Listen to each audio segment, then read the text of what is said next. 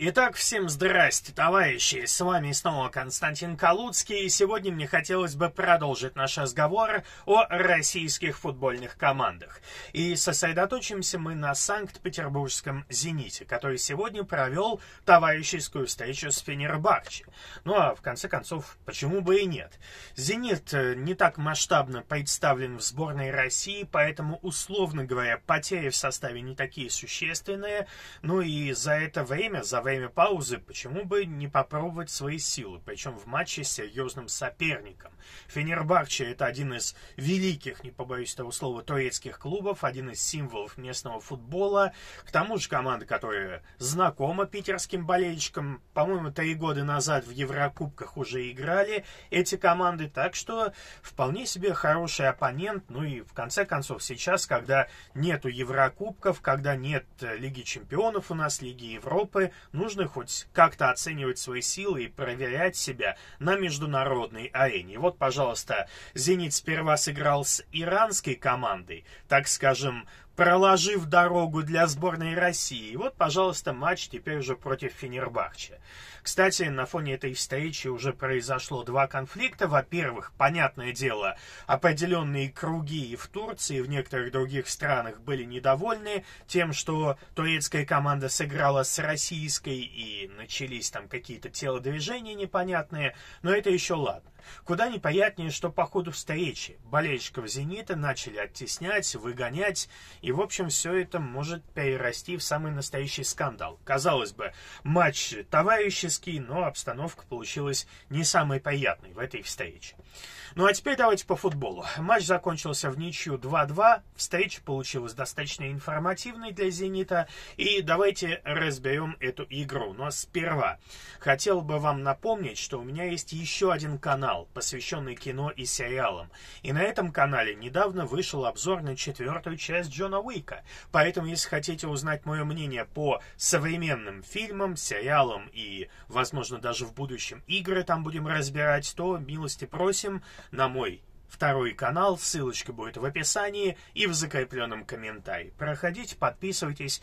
Там, кстати, будут скоро еще и стримы проводиться на тему кино.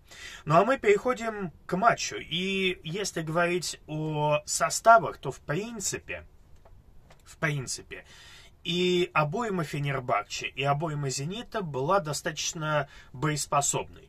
То есть многие спросят, а насколько основным был состав турок в этой встрече? И в принципе, опять же, если учитывать фактор того, что из состава Фенербахче куда больше игроков уехало в сборные, из оставшихся исполнителей, ну, можно сказать, вышли все ведущие игроки. Так что здесь у «Зенита» был соперник, пускай и не в оптимальном состоянии, без некоторых ведущих исполнителей, но вполне себе серьезный. И ничья на выезде с турками это, можно сказать, успех, тем более, что турки, повторяю, серьезные, Фенербахче, не абы кто, и состав вполне себе боеспособный. Касательно обоймы «Зенита», в принципе, здесь тоже не было некоторых ведущих игроков из-за матчей сборных, но тоже обойма вполне себе боеспособная. И здесь мы увидели и бразильских звезд в атаке, которые в первом тайме буквально разрывали оборону соперника, и Клаудинью, и Монтуан, и Малком. В обороне были проблемы, правда, но с другой стороны, по именам здесь состав тоже очень приличный, сплошь игроки, либо выступавшие в сборной России, либо потенциально способные туда вернуться еще. И здесь тем удивительнее, что и Сутармин, и Арсен Адамов регулярно допускали косяки. Оценили здесь запасных голкиперов в этой встрече Васютин и собственно говоря, Адоевский появились на позиции номер один по очереди. Таким образом, оценили молодых голкиперов, которые могут заменить Михаила Киржакова. И если по Васютину, наверное, особых вопросов нет, то Адоевский, ну, скажем так, озадачил вторым пропущенным мячом. В общем, давайте обо всем по порядку, разберем эту встречу и начнем с первого тайма, где играл все еще Васютин. Касательно действий в обороне, я уже, в принципе, обмолвился, что косяков было слишком много. Вот как прям до хрена. И это немножко напрягает, потому что, повторяю, Адамов, тот же самый, который привез пенальти в необязательной ситуации, Сутармин, который потерял мяч на ровном месте, и «Зенит» пропустил первый гол. Это как бы претенденты на попадание в сборную России. И судя по тому, что они показали в этой встрече, ну, мы как бы видим логику в действиях Карпина, который их не вызвал. К сожалению, последнее время что Адамов, что Сутармин не имеют стабильной игровой практики, и хотя они выходят периодически на поле и показывают приличный футбол, но, как видимо, отсутствие стабильности влияет на них как-то психологически. И они в том числе допускают такие абсолютно необязательные ошибки. Вообще, строго говоря, Фенербахче, если что и создавал в этой встрече, то во многом благодаря «Зениту». То есть первый тайм Привезенный пенальти Адамова. Ошибка Сутармина и пропущенный мяч. Второй тайм. Очень слабый эпизод в исполнении Адоевского, который пропустил, ну не то чтобы бабочку, но очень дешевый гол. Гол, который не должен был состояться в этом эпизоде. Вратарь должен был отражать здесь, но, скажем так, сыграл ниже своих собственных возможностей. И вот, пожалуйста, второй мяч. Поэтому здесь «Зенит» в целом и сам создавал моменты себе в атаке и играл неплохо, и еще и противнику создавал моменты своими же ошибками. Так что «Зенит» был здесь прям альфа и омегой. Касательно обороны, как я уже отметил, все как-то печально. Турки нельзя сказать, что прям наседали, зато ошибки «Зенита» регулярно приводили к проблемам. В атаке все было куда симпатичнее. Тут прям хорошо. Бразильские тройки, двойки, когда Монтуан обыгрывался с Клаудиньо, когда здесь э, подключался Малком, который вообще феерил в первом тайме. Это было круто. Плюс тут даже Бакаев как-то не затерялся и выводил того же самого Малкома на ударные позиции. Это смотрелось неплохо интересно.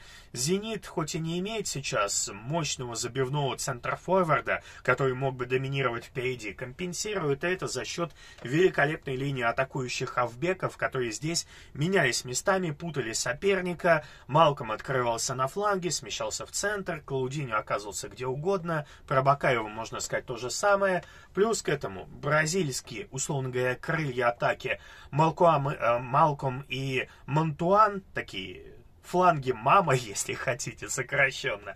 Они здесь очень серьезно напрягали оборону Фенербахче и туркам регулярно приходилось здесь, так скажем, растягивать свою защиту, что в свою очередь открывало позиции в центре обороны, свободные для того, чтобы здесь проникать передачами, создавать опасные моменты и так далее.